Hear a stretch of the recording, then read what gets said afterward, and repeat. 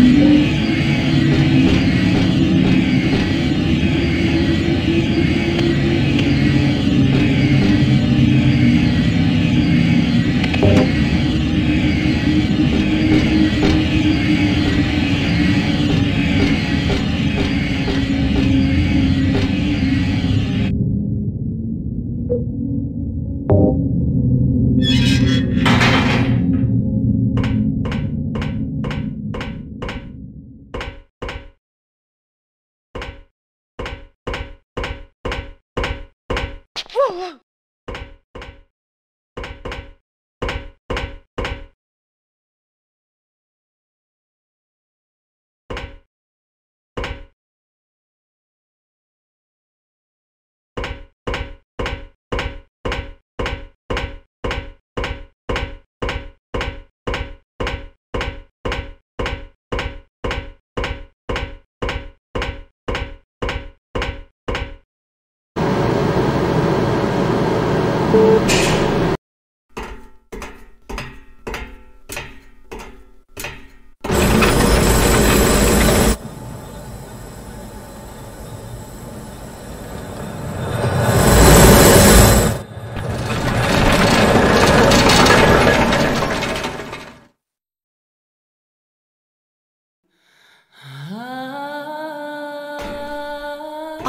hired you to find the girl, and you performed serviceably. What is it now? You lied to me about Heather, lady. I don't like being used. Lie? What lie? That Heather was kidnapped from you.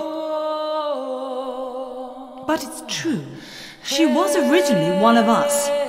That man, Harry Mason, stole her away and kept her hidden from us. Yeah, but she says she was happy. She was brainwashed by him, deceived, because her true self had not yet awoken.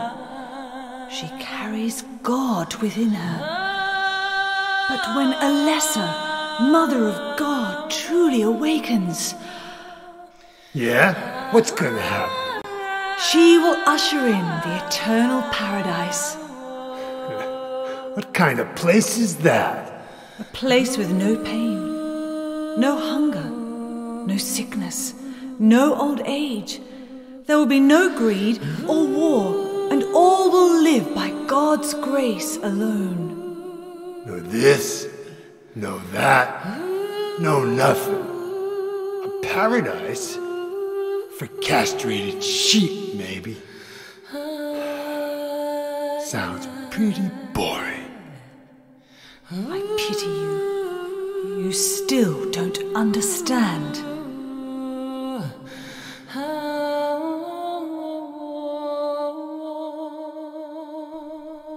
You're going to kill me?